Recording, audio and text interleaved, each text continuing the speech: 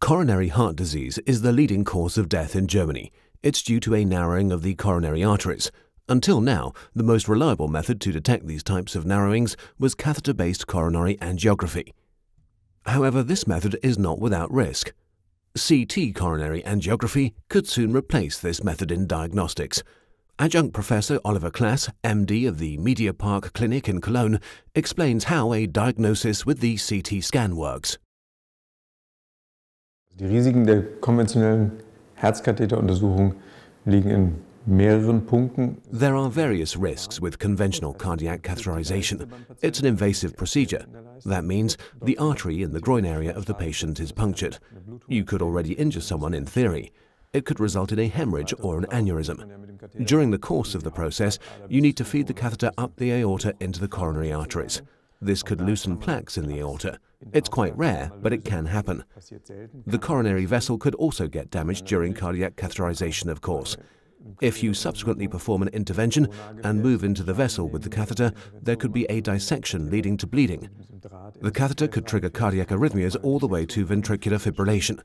All of these are potential risks that are quite rare, of course, but their number and frequency have been consistent over the past 25 years. All das sind potenzielle Risiken, die natürlich relativ selten sind, aber seit 25 Jahren in der Anzahl und Häufigkeit konstant. Not only plaques, but also bypasses and stents can be assessed at a workstation, a powerful computer using CT coronary angiography. Letztlich ist es eine computertomographische Aufnahme, also eine Röntgen. Ultimately, it's a CT image that, because it's an X-ray with many layers, enables us to assess the overall volume.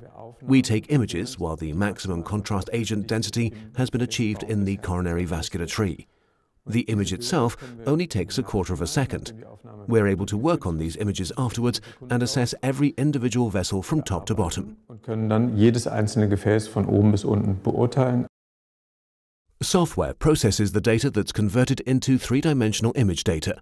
Rendered findings can therefore also be graphically displayed.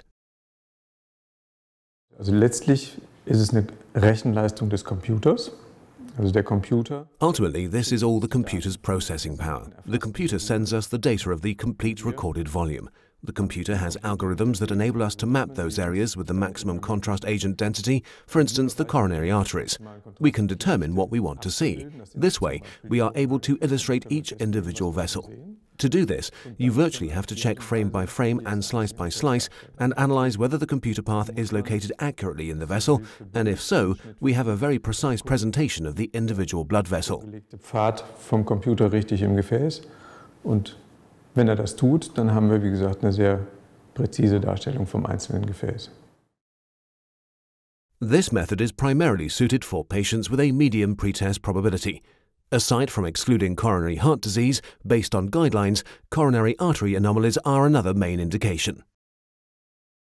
Die Vorteile der Koronarangiographie im CT sind zum einen, dass es ein nicht-invasives Verfahren ist. Das heißt, ich brauche keinen Katheter schieben, ich kann einfach von außen Bilder machen und damit On the one hand, the advantage of CT coronary angiography is that this is a non-invasive method.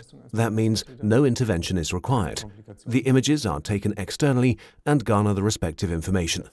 The radiation exposure is lower than when using an intercardiac catheter. There is no risk of complications. I learn much more about the coronary arteries because unlike with the catheter, I can display the vascular wall including plaques. Soft plaque, mixed plaque, calcified plaque. This has clear consequences for the treatment. I am able to offer a method that is far more pleasant for the patient. Looking into the future, I would definitely venture to guess that CT coronary angiography is able to replace large portions of the previously performed standard diagnostic coronary angiography. What's more, coronary angiography will also be needed to perform interventions. Realistically, however, you can drastically reduce the number of intercardiac catheters.